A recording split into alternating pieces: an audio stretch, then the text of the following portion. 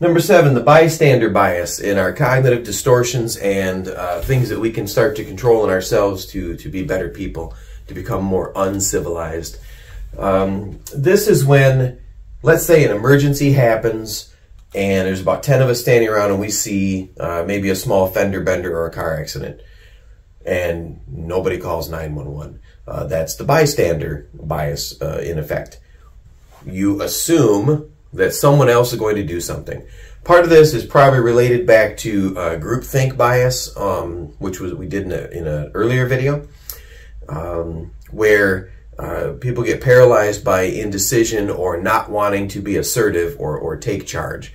If if you had uh, a group of 10 people and everybody wanted to take charge all the time, you'd have uh, chaos. So human beings will naturally uh, sort of defer uh, to to others or be uh, polite and come to a consensus as to decisions being made. That's kind of the natural human way. But it starts from a bias toward inactivity.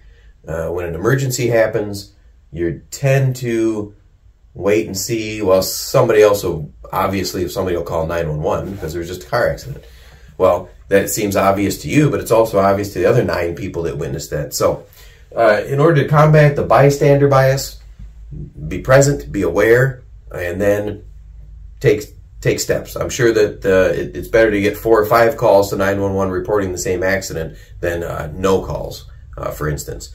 So beware of the bystander effect when you feel yourself standing or caught in a position where you're you're wondering whether you should take action, and you hear yourself with that inner voice saying, "Well, somebody will."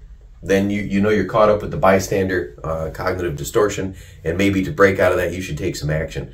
It's almost always better to act um, than not act in any kind of emergency. So um, set your default to action.